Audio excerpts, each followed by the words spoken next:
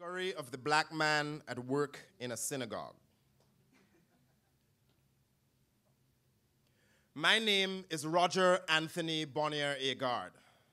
My name is a myth of its own creation, its syllables conjured by fear.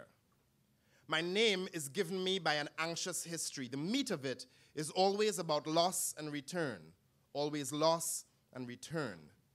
I was born between two rivers in a valley of a shadow of blackness. My name means famous spear. It is Old German. It is the purview of warriors. My name means priceless. It is Old Latin. It is the purview of kings. My name means beautiful one. It is Old French. I wear it like a sixth finger. When I was 23, I managed the records of membership and death. Membership and death bear their own names. They keep mine locked in the safe of their own mythology. The old man says, Fuck you, I say. My name means free to go about my own business. They came to me with solemn voices to purchase plots, to give them seats in the temple. They did not recognize my name, or sometimes they did. Are you French? Are you a Jew? Are you black? May I speak to someone white? They came to me with celebration. This is my son David. This is my daughter Rebecca. This is their child Noah, Rosenbaum, Miller, Tish, Mandel. They brought me their tithings of laughter, history, wine, hubris, hate. I gathered them onto me to make myself new armor. My name is the firstborn son of a single mother. She's always a basket on a river. She's named after a beautiful boy.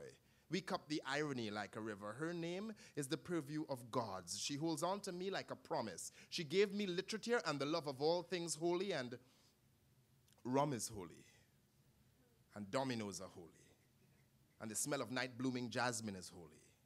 She adorns her walls with the crawl of bougainvillea, and these two, holy during the high holy days, they come to me for seats in the temple. They come to me without knowing my name. They come to me without knowing the meanings of likeness and image, but they offer me bottles of wine and good legal advice. They offer me tickets to the Knicks and Rangers. They do not speak to me if I do not have a name tag. They do not look long enough to see the name tag. My name means invisible, it does not belong to me. My name means holder of seats which are closest to God. My name means holder of land which is closest to death.